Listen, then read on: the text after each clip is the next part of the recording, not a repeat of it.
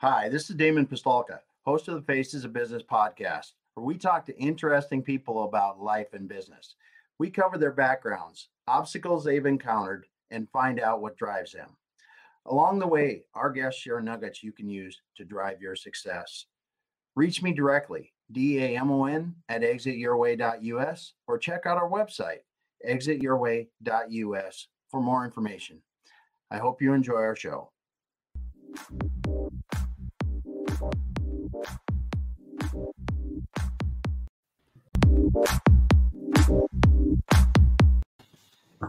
right, everyone. Welcome once again to the Faces of Business. I'm your host, Damon Pistolka, and I have a special guest for you today. And can you guess the person that talks about e commerce and manufacturing almost any day? We have a guest today in Neil Twa, who has sold over $100 million in Amazon FBA products.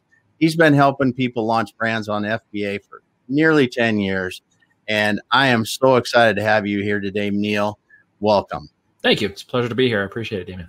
Yeah. So it's it's great to have an expert like you on today that that has lived lived the life for a while on e-commerce and and as we talked uh, prior to getting on you really started out in e-commerce right out of college so can you give us a little bit of your background and really tell us about kind of your journey to where you've got to helping people launch yeah. brands on Amazon? Sure. I'll try to keep it under like three minutes and save the mm-hmm. stuff that maybe nobody cares about except my mom.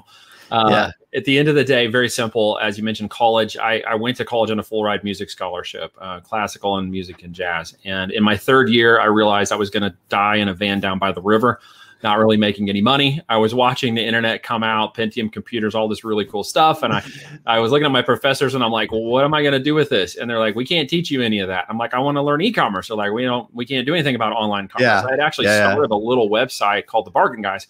Uh, where we were doing inner, you know, eBay style swapping through the website on the campus. Okay. Um, so I had already kind of got my hooks into that and thought that would be fun. So I switched to business computer science for all of a semester and realized that was a horrible thing. They wanted to teach me like Fortran and COBOL and server mainframes, and I was going to yeah. die in front of a green screen. And I'm like, this is yeah. not cool.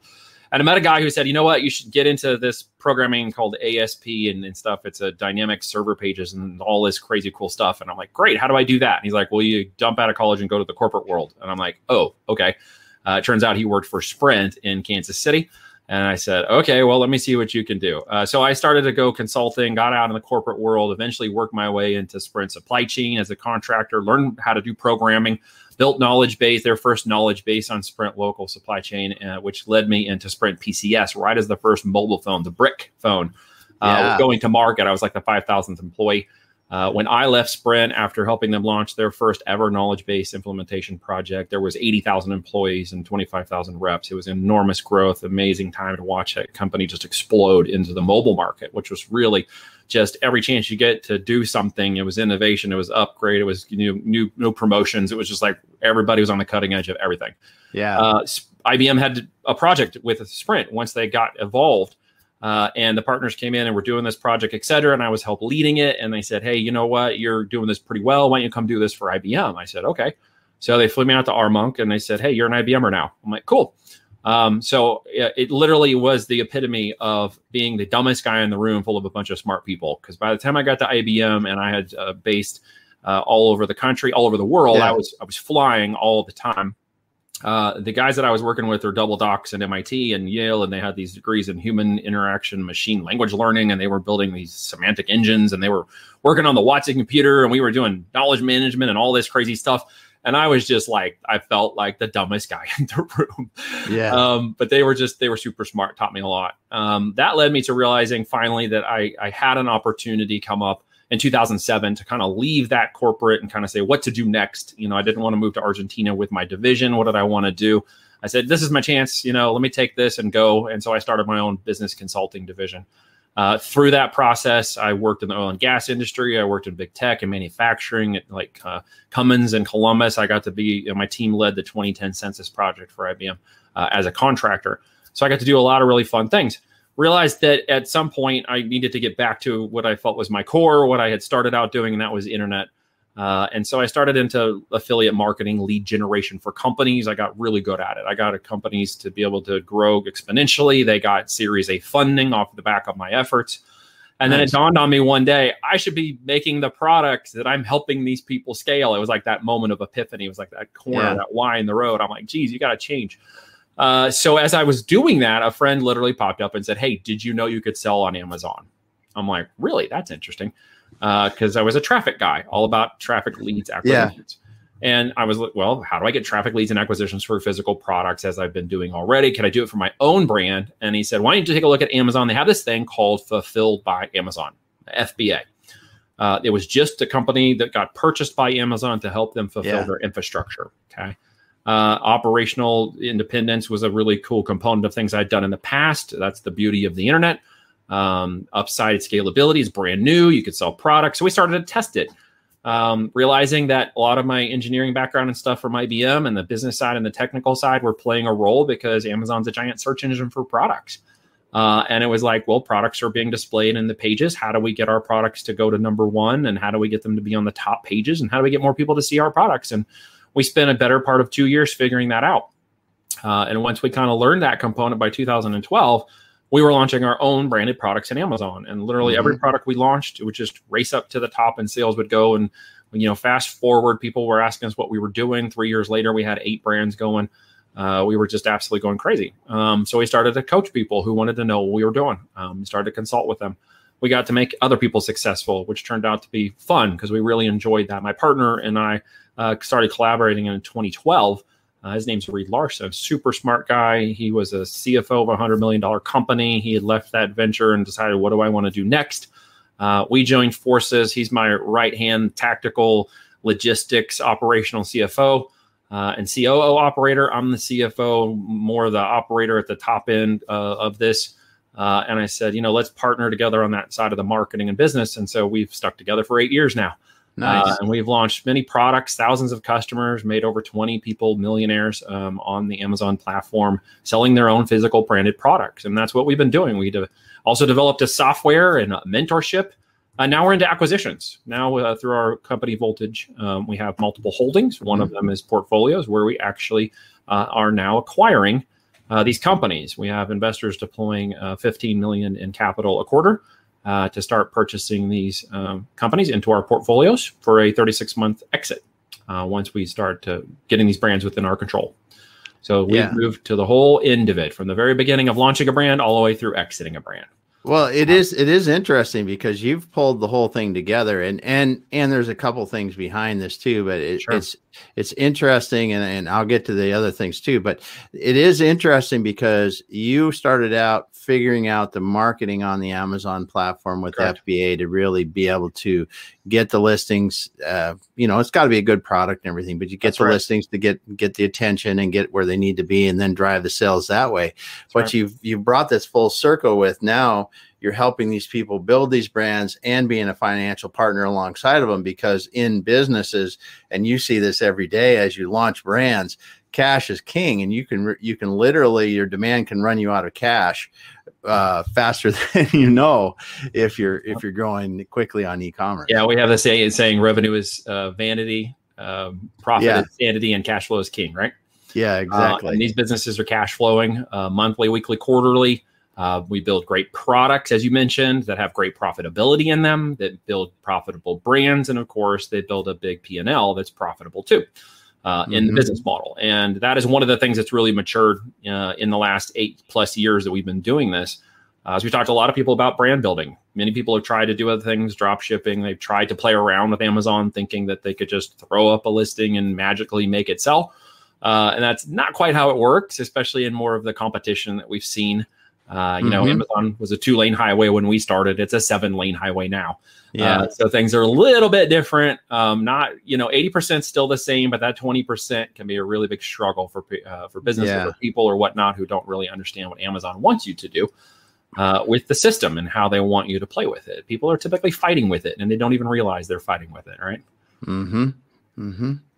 So what what do you think? You know, someone say I've got a product, say I uh, I doing okay, but I really haven't tried Amazon FBA. What are some of yeah. the things that people can see if they if they moved into the FBA and and really embrace that and do it right? I mean, because yeah, volume is one thing. Sure. But what are what are what does the F what does FBA really give them in terms of market advantages, strategic advantages, some other things that you Absolutely. see when you when you put a put a brand into the, the FBA ecosystem? Well, there's a couple of things that come to mind uh, in in the answer to that question. It's it, the product itself. If if you're selling a product, a widget today in this world, unless you're an inventor who has a patent on that particular product, you will find there's a lot of competition already in the market. And if it's something you're selling, and while it's uniquely yours, and you even may have brand trademarks on it, there are competitors in Amazon selling products just like that already.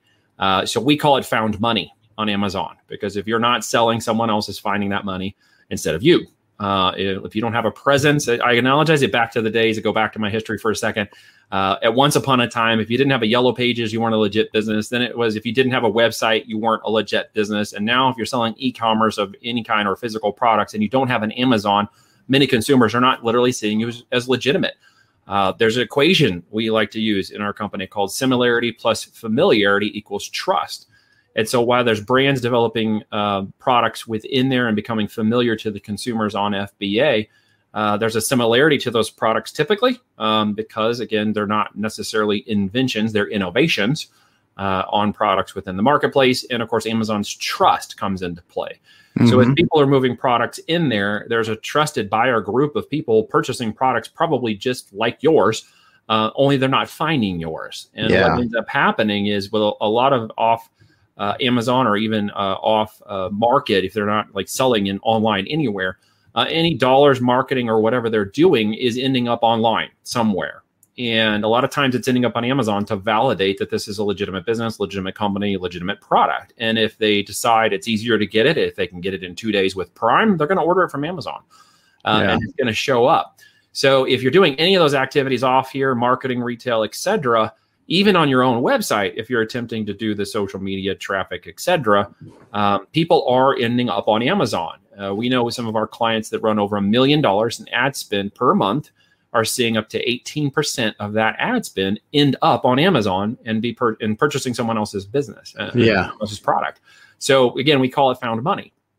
Um, so to get it on there is literally to find money, add value to your channel, and if your purpose is exit, it obviously adds points onto the bottom line uh, for your exit potential when you have multiple channels selling your products. Yeah. Um, so there's really no reason not to do it. It just has to do with how you do it. Yeah. Well, the one thing that you brought up when and we to, today and when we talked before about this is legitimacy. Yes. And and having your products even not on FBA, but if you're not on Amazon at all and you're trying to sell your stuff off your own website and that's the only place you've got it, the legitimacy that you will have by being able and selling your product on Amazon along with your own website is something that you see a lot. And people are, it if is. they don't can't find you on Amazon, then you, you might be shady or there's some questions, especially if you're not a reputable business that's been around for 10, 20 years or more. Yeah. Uh, and has a historical base of customers, long longevity. They're, you know, a little bit more of a household name, etc. If you just started up in the last three, five, even even roughly 10 years or so, uh, and you are not seen as maybe a household brand yet, uh, people are going to find uh, complementary products on Amazon and they're going to buy them instead. Uh, yeah. It is, it, you know, Amazon only makes up 31% of all e-com sales in the United States. So again, they're not the juggernaut per se, although they do make up a good portion of what feels like a lot of sales, especially in my house, we call it subscribe and spend. Yeah. Uh, not subscribe and save um, because yeah. there's a lot of products moving to my house uh, every week from Amazon. Yeah. Um, but Amazon itself gives you, you know, the ability to go into their marketplace, use FBA, the fulfilled by Amazon infrastructure. It's like $15 billion they put into this and create economies of scale on that platform with automation. So as you send that product to Amazon, it will automate the movement of products to the customers, even the customer support and return, uh, giving you the ability to create and diversify that channel without having to put up a new warehouse or hire yeah. 10 new employees or even get to eight figures and hire 10 employees, right? Um, seven, multi seven, even eight figure companies we've built, helped, or we've ran our clients to that level. We'll be operating with, you know, five people, uh, yeah. Uh, of which three of them are virtual assistants. yeah. uh, operating in specific you know niches. We even have companies that are uh, are under our control within our managed services, where we have a uh, media person who manages that account.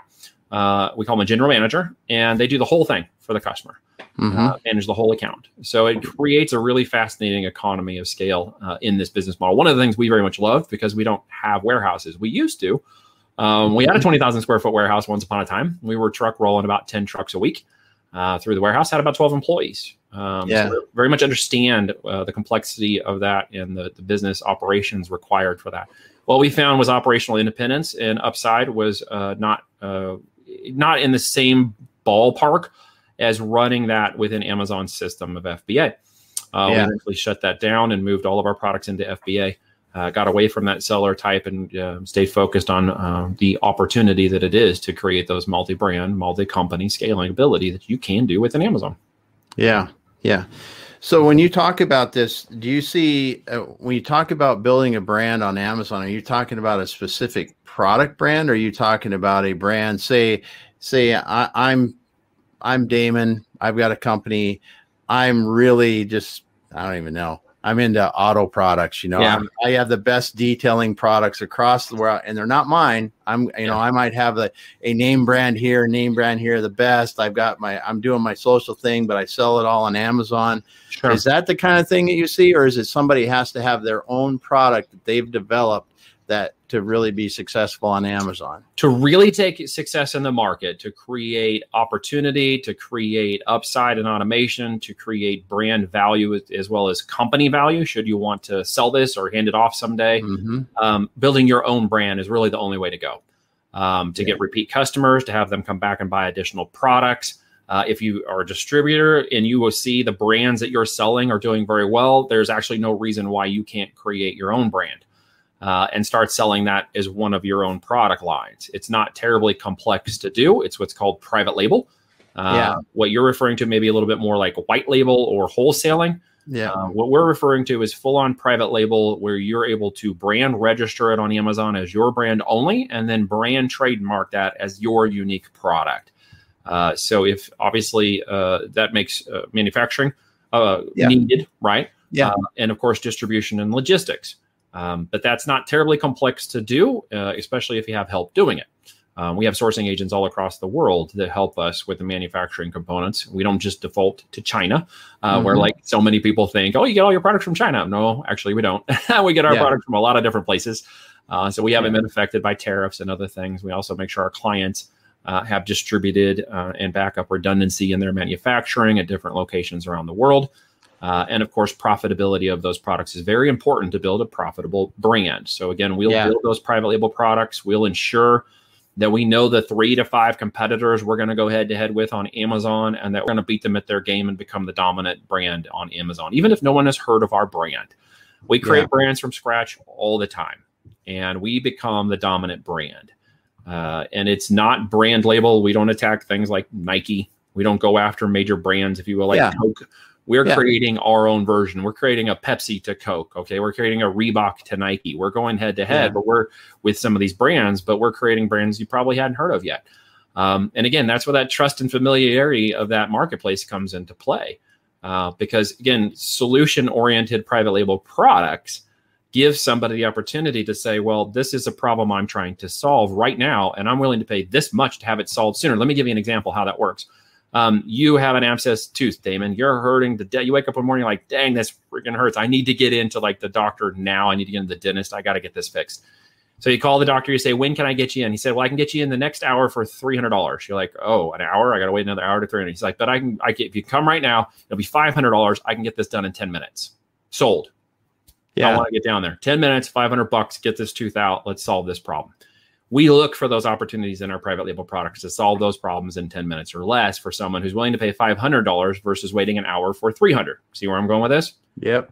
So with that value perception in our brands we can take brands and products and switch the narrative just a little bit so people see the value. So we aren't pining over pennies right? Um, we're not stepping over dollars to pick those pennies up. We're looking for where the dollars and the profit increase and grow raise our prices raise our brand affinity and of course raise our profits in the process. We build businesses that just happen to sell ecom, and we start incubating those products on Amazon to test the brands. Yeah, but we're business builders, so we do mainstream. We do take these products, especially once we acquire them in our portfolio. Uh, I don't think I mentioned this, but one of my business partners in portfolios is Kevin Harrington. He was the original Shark Tank, as seen on TV brand guy, infomercial creator, sold over $5 billion in products. When we take a brand into acquisition that's Amazon FBA uh, and has incubated, maybe they're doing six, seven, multi seven figures already on Amazon. That's great. That's just showing all upside market potential for this product. Yeah. Right. Yeah. So then we can take that brand and we can mainstream it. We can take it to my client who sells a million dollars an hour on QVC. We can take it into the mainstream uh, market, radio, television, infomercials, etc. We can make it a household name. Yeah. So that's one of the things we do when we acquire these brands. We look at their stability on Amazon and then we take them in mass market to make them household names. We go the other direction, which seems odd to some people because I know a lot of people might be considering going the other way, which is I'm off Amazon, I'm in retail, I'm manufacturing over here, and I want to take products on Amazon, right? Um, we Yeah. look at it both ways. Well, and you're using Amazon as your test bed, really, because It's if you can get. Yeah, yeah, you have they have the ad spend, they've got the eyeballs, they've got people looking for the product. 30 I mean- seconds or less, all things to all people in 30 seconds or less. That's the gauntlet Bezos laid down, right? Yeah, yeah. So, I mean, what I what is the traffic on on Amazon now? Because I'm astounded at it when when you're doing things on Amazon and how popular a product can really be. It's really surprising to me too. There's like over 125 million Prime subscribers last I looked. Wow. Uh, there are there's over 200 million in traffic on average every month. That that bursts over 250 to 300 million during the holidays. Uh, I know that they're doing around 35, I think, million a day, 33 to 35 uh, million a day. Uh, but here's what's more important from our perspective, and that is um, six, 54% roughly uh, of all of that is third party sellers like us.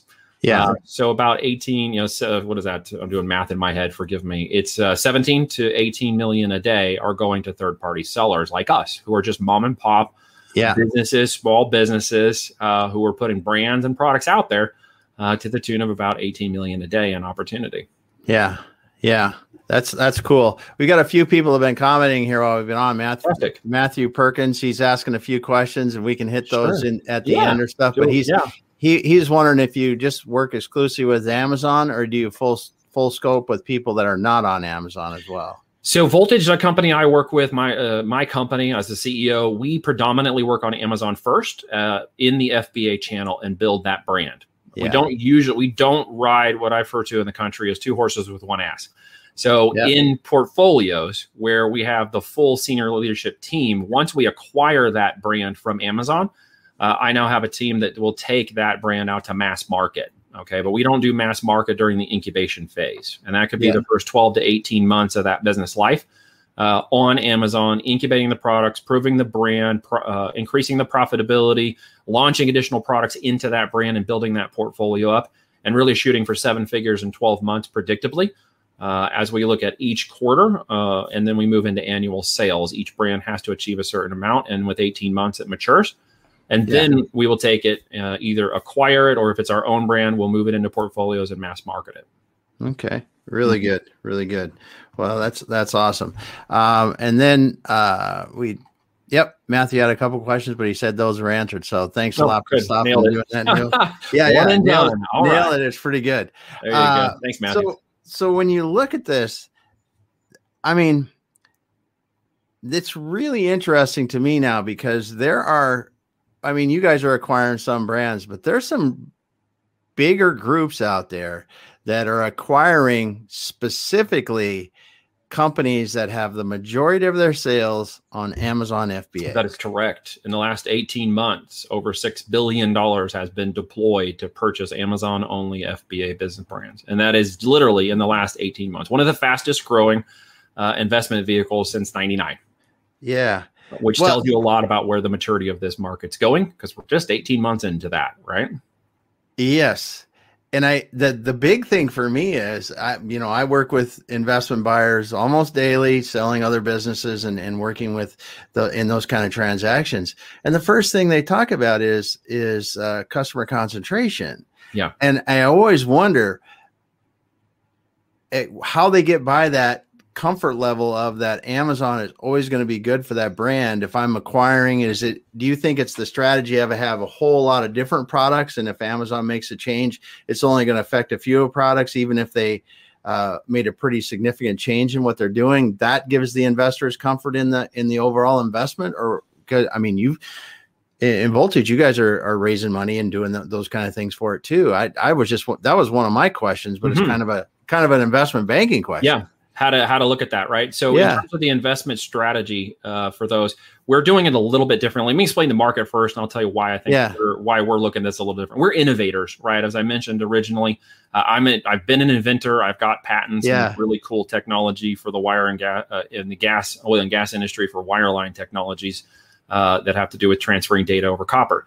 But at this level, you find that products and opportunities become innovations for products, right? It isn't really the inventor that you see with this really crazy unique product. It's an innovation or a slight twist on an existing product. What oh, you're okay. noticing is these larger aggregators are buying up multiple versions of those brands within these other companies that have been built, uh, creating kind of a larger portfolio. And it's a numbers game, right? Like Thrasio and others have acquired yep. so much money now. Thrasio is going IPO. Yeah, uh, Aquillo's got 160 million recently. Uh, at the Prosper show in Vegas recently, there was like eight vendors, which is the first time in, in the history of Prosper in Las Vegas there had been this many v- uh, vendors who were aggregators. Um, yeah. They are all taking the first arrows in the back. They're the first to market. You know how this goes. We're not even in the early adoption of the bell curve, so they're getting a lot of arrows in the back right now.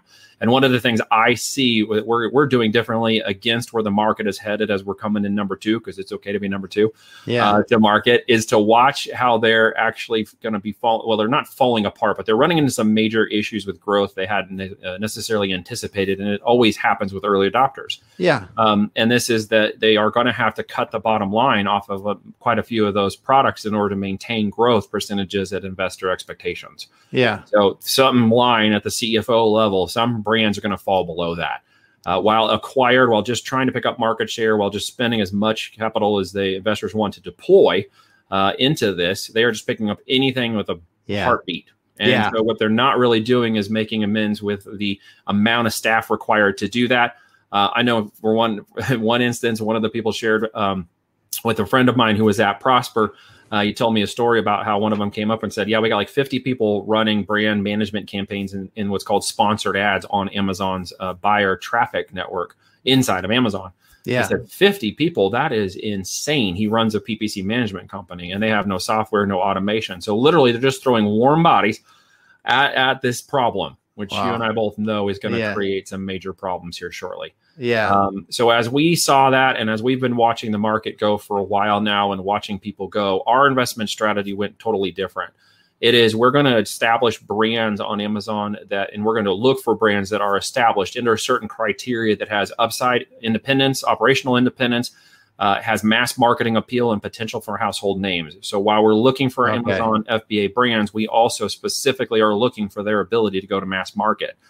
Uh, that is an innovation, if you will, in terms of where the Amazon aggregators are go, who are who, yeah. right now who are specifically focusing on just FBA businesses. Yeah. So we'll even look at businesses that have, say, a Shopify website or other, you know, type of sales, WooCommerce or whatever, who yeah. have a good established potential brand, have maybe tried Amazon or necessarily haven't opened the Amazon channel yet. And our team, being the experts they are, could quickly deploy that brand into Amazon and open that channel very quickly in the market share and then have a multi-channel opportunity, which is where we're yeah. going to go anyways.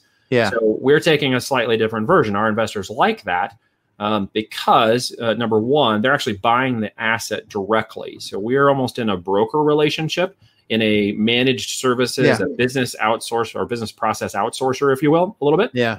Um, to borrow corporate terms for anybody who might understand what that means, a managed services yeah. insert, inserting itself into the buyer seller relationship where we validate at the due diligence level uh, that this company has its you know market potential upside and mass marketing.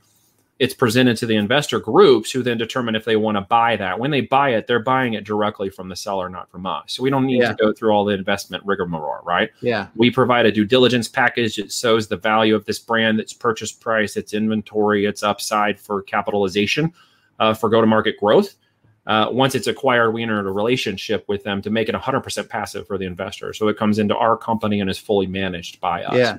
And then yeah. in 12 to you know 24 and 36 months, we have operational expectations of growth and strategy. Uh, to take a, an asset purchased at three to four x and return it at four to eight x, uh, with the whole portfolio growing and basically double in size in 36 months for a full market exit.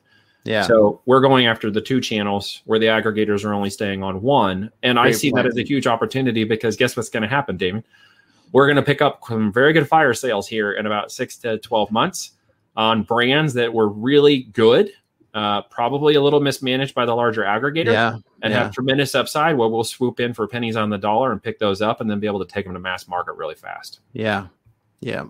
Yeah. I just the, well, and you look at the mass, the, the mass the mass buyers yes. the Amazon FBA. I mean, they they literally are buying just to deploy capital. Uh, in they my are. opinion, because when you look at some of the websites, it's like we can turn turn and burn. You know, forty five days. You can you can have your business sold. You know, right. blah blah blah blah blah.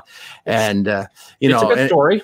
yeah, yeah, yeah, but but in the real in the real world, yeah. Uh, outside of that, yeah. I mean, deals deals just don't get done that fast if you do proper diligence, and that's that's what I see is that they they are deploying capital to be deploying capital, and yes, they are going to take some arrows in the back. Yep. It is exciting though how they how they are able to do this because I think that in the future, this this will be much it'll be much more commonplace, obviously, and it'll be more comfortable. Well, it will, right? Just go three to four years out. Yeah. We haven't seen capitulation in the market. We haven't seen consolidation of the market yet. Yeah. We haven't seen aggregations between the different brands and various businesses. That's coming as any uh, mm-hmm. curve goes. Uh, we will see that, and what we're planning is a tortoise and the hare race. Yeah. Uh, as we'll see this go along, we're going to see some major uh, changes in the market um, in the next three to four years, and we, we plan to be in part of it. In fact, we'll be aligned to either be purchased by a larger aggregator or even a SPAC, yeah, uh, or one of these others, because we plan to go for profits in portfolio, not mass brand acquisition. We're looking at 36 good businesses. Any smart investor knows, obviously, that if you're going to deploy a certain amount of capital, it obviously depends upon the investor's capabilities. I could deploy yeah. 10 million, uh, someone else can only deploy one. It really gets down to if I could deploy 10 or 20, should I deploy it in 1 million increments into 10 companies because one of those companies mass market can make up the rest of the nine. Yeah. Um, now you're looking at a slightly different structure and that's kind of how we've approached it with our investors. Um, our acquisitions uh, are going to be between two to five million. Our ebitda ranges between 250 to 1 million. So we're actually targeting brands that are very different uh, than those aggregators. Why? Because yeah. we're looking for the uniqueness of those products and brands and the mass marketing appeal where they're not. They need to get to the 1 million plus EBITDA because it's only Amazon. Yeah. So we don't have to do that. I look at the one that's at 250 EBITDA and I say, well, dang, I can make that a million uh, in in just Amazon only in the next 12 months, while adding on the additional outside mass marketing channel, which could do a million a month. Yeah. Uh, so we look at this very uh, different approach. I only need 36 of those. I don't need 360 of them, which is very yeah. and different than the way this is appearing. Well, when you comparatively, right? I'm yep. I'm an old manufacturing guy, whatever you want to call it that's that's what I grew up in, and the, and the roll ups that you saw in those kind of industries many years ago, with people actually understood the industry and right. and were able to do that. It's very similar to what you're doing, but you're doing it on Amazon and and understanding the Amazon and the mass market. You right. a got the Amazon, which has the traffic, which in e-commerce. That's that's why I Amazon's such a behemoth with the traffic. I still go back to that. I'm still so amazed at it every day. Yep. And your your real differentiator, as you said, the aggregators, if they don't have the the technology or the capabilities to really understand how to launch brands and grow them on Amazon, they're missing out on the biggest opportunity that really springboards for the other mass market opportunities. Because once you create that, uh, um, you, you create that brand knowledge or that brand awareness mm, that you get from uh, from being on Amazon and being popular on Amazon with a with even a smaller product popular on right. Amazon. Right. That gives you enough to really launch into the mass market, like you said, into the other the other channels where you can really. It really does. And what I've seen in, in my eight plus years of doing this is many sellers on Amazon really don't know what they're doing even yeah. the brand owners. And there's always five points of opportunity that we look at initially with each of these as we consolidate them into shared services within Voltage, we lower their uh, cost and overhead and increase their profitability relatively fast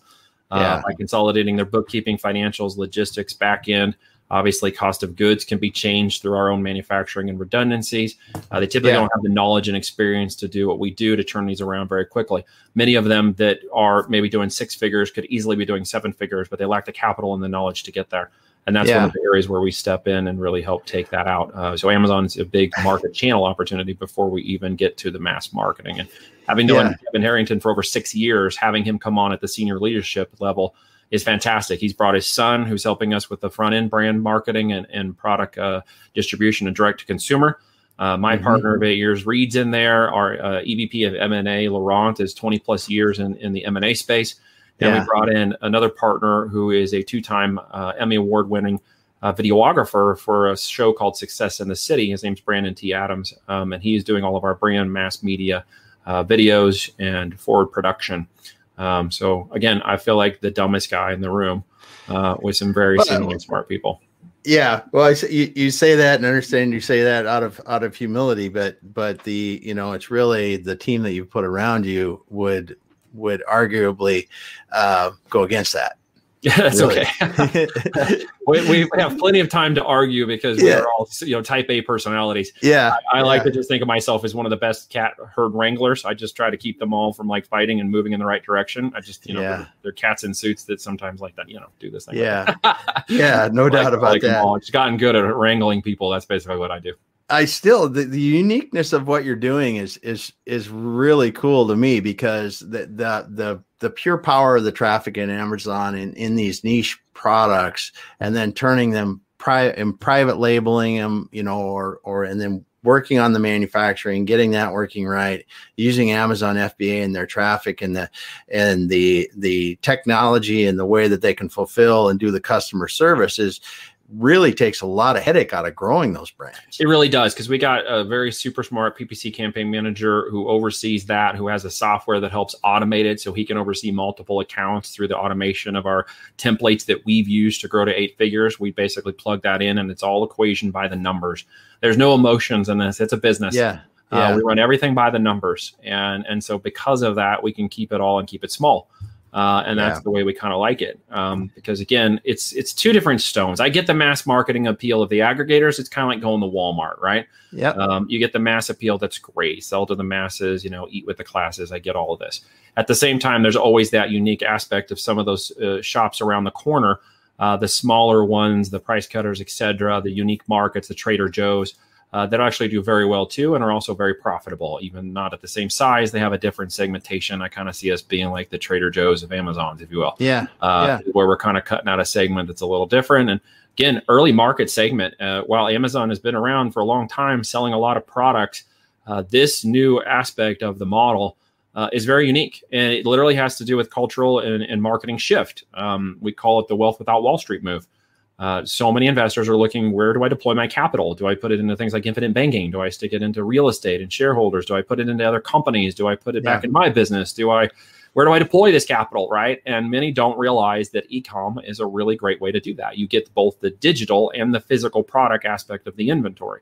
Yeah. So when you're buying these companies, while they feel digital, which is a bit of a kind of a brain thing, um, they have physical inventory setting yeah. a warehouse. Physical assets is part of that purchase, right? Yeah. Uh, and when people start to realize that, they see it a little more like virtual real estate, like purchasing multi-tenant buildings, which is another way to deploy capital, right? Mm-hmm. Um, by deploying multiple into multiple businesses, you obviously get the returns of the the whole portfolio, as opposed to looking at it, you know, just as a one by one basis. Yeah. Um, so we give investors that opportunity to to build into their portfolio multiple brand purchases. They're 100% passive um, quarterly returns, yearly returns, and of course an exit opportunity when we mature the whole portfolio. So it's a yeah, it's kind of a wealth without Wall Street move. Where to deploy capital? Yeah, yeah, and I I can I was thinking in my head how how it would look differently when you when you have a uh, you know a ten million dollar a year company brand that you've built on FBA. I mean, you can literally run that with a few people.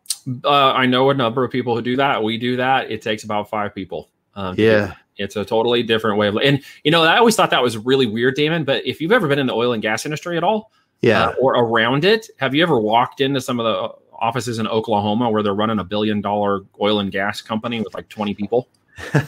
no, right? I, I mean, it seems really weird, but yeah, I've walked into a number of those offices and they're like, where is everybody? Like, you know, well, we don't need any more people. Um, yeah. So, at different types of times, there's different economies of scale. And, yeah. you know, we realized long ago building more warehouse or hiring more people uh, is one way to go. It creates its yeah. own problems, its own logistics, its own overhead, and its own challenges. And many people discovered that in the last 18 months with so much that happened in the world. Um, we can deploy very minor amount of people uh, in contract-based growth and percentage of growth positions uh, that incentivize them uh, through their expertise and knowledge and, and ability mm-hmm. to execute on our key objectives. Uh, we can deploy them into very large uh, growth environments and and literally even multi seven figures on Amazon is still an incubation period for these brands. Once you take them to mass market, they could be 20, 50 million dollar year brands. Yeah. It is really fascinating talking with you now, Neil, when you think about building these companies like you guys are, helping them and building it through FBA a because the the the risk of scaling is so much less like you would with a normal as you said i'm going right. to go out and lease a warehouse and then i have to lease more of them and and and really anymore and this is what kind of the the dirty secret that people don't want to understand in in right. e-commerce a lot of times is I can't just have one warehouse anymore if I really want to be a brand. I have to get my shipping down, and that only that only uh, comes from having multiple warehouses in the locations where your customers are to get them there in a couple days and and those it's kind of things yep. and you look at that that that financial risk and that risk of of you know being in those different locations you can really do a lot of that with the Amazon FBA model and you really can and we still and deploy some of that in the third party logistics like well, yeah, yeah. we don't own a warehouse anymore um, we use uh, independence on uh, 3PLs, third party yep. logistics, on each uh, side of each coast um, yep. who can deploy those products into Amazon as we need them. So we have kind of a just in time inventory, obviously yep. manufacturing to 3PL to Amazon or directly to Amazon as we have yeah. available space. My business partner is a logistics mastermind. Uh, and has set this whole thing up in such a way where it's not only doable, but it's coachable, teachable. We get others to understand how to build that for themselves. Yeah. Uh, we don't have any warehouses anymore. Yeah. Uh, to hold any of our products. Yeah, I have I have seen that before in some of our clients where we had them where they had their own their own facilities and used the FBA, and that is right. a really that's a very effective way I think to to to minimize your risk until you know that that facility is really going to pay for itself to have two or three or four. It is, and you've got to balance out both the market. You know, Amazon grew at sixty percent of the fourth quarter of December 2020. That was a yeah. super hyper growth situation. Yeah. Yeah. Uh, they're having more growth too this year uh, than ever before. Uh, where warehousing is getting a little bit limited. They have what's called IPI rules or how much you can send yeah. into your inventory. We used to have billions of units of storage space. Now we have millions. Now that doesn't sound like a lot, but when you're moving a lot of product, it can be kind of a little bit troublesome. So yeah. we just backed up more of our product into the 3PLs and yep. then sent it more just in time into FBA to kind of overcome that because we're running like a business, not a side hustle or a hobby yeah. business. Uh, yeah. We we have overcome this, but many are falling out of the marketplace right now. Damon, quite frankly, oh, there yeah. are holes and opportunities opening in Amazon for many people who don't realize this. Uh, because many of these companies are falling out. Uh, they simply couldn't keep up the inventory and logistics uh, mm-hmm. in order to ensure product supply and demand was met. Yeah. Uh, and they ran out of inventory. And that's a bad thing to do in Amazon. Oh, uh, you, you, lose spots, you yeah. lose ranking, you lose traffic. Yeah. When you run out of inventory. And so yeah. we've seen that growth uh, come through. And of course, helping to manage our clients through that. Yeah. So, uh, how big of a deal this is this is a little bit off topic but not oh, yeah. really. How big of a deal was it when when covid hit and everybody started buying with e-commerce for you guys managing companies? Was it like you just woke up and it's like oh i guess we're not getting sleep 20, for the next six months? 2020 was very different for us than most people. It was like christmas all yeah. year long. Um, we saw an average of about 35 to 40 percent uh, increase in 2020. Um, yeah. For us, it was all upside on the business. Yeah. And I know that v- sounds very strange, and maybe it sounds like being braggadocious in the middle of so much trouble uh, that occurred. But quite frankly, ecom was there to be a support network for many people yeah. Uh, who, who couldn't shop or didn't shop previously or couldn't travel or couldn't go to the local store anymore. Yeah. Um, you know, never having got on it before, they got on it for the first yeah. time. My parents were one of them, right? Yeah. Uh, not wanting to purchase on Amazon. Now you can't get them off their cell phones where they're clicking and buying stuff on Amazon and getting it shipped now yeah. to their house. Uh, that was a pivotal change. And I think yeah. a lot of that adoption in 2020 is what's occurring with what we're seeing on Amazon now. Uh, in fact, one of the first companies, it was an original Amazon uh, brand called Anker, is about to be the first one to go IPO completely on Amazon FBA. Wow. Uh, and that's one of the things that's trend setting and what Amazon sees in its brand building and why it's increasing its brand building capabilities. It's increasing its people and manpower to support brands. It's giving the ability to do things they've never let us do, like send direct email broadcast to our sellers, uh, buyers, excuse me, uh, inside of Amazon, um, new targeting options for brands. Yep uh, new brand referral programs that give us the ability to take off Amazon traffic from websites, social media, etc., and monetize it against our own brands by sending that traffic back through our own brand link, earning up to five to thirty percent uh, in referral fees for ourselves, uh, which that's was never cool. before. Opening a new era of off Amazon marketing. Yeah, uh, that's been sort of a weird area for the last eight years plus. When they never let us do that, we had some ways to do it that was sort of sort of gray, yeah. but we tried to keep it as wide as possible but they're really sh- showing that brands are where they want to go and that's where the market meets its opportunity no doubt. And so e-commerce really exploded in the last 18 months. We saw it. Now there's a dip. We saw a dip this year. Um, we saw it the first quarter and stuff come back down. But you have to rationalize those numbers and reconcile them from 2019 forward.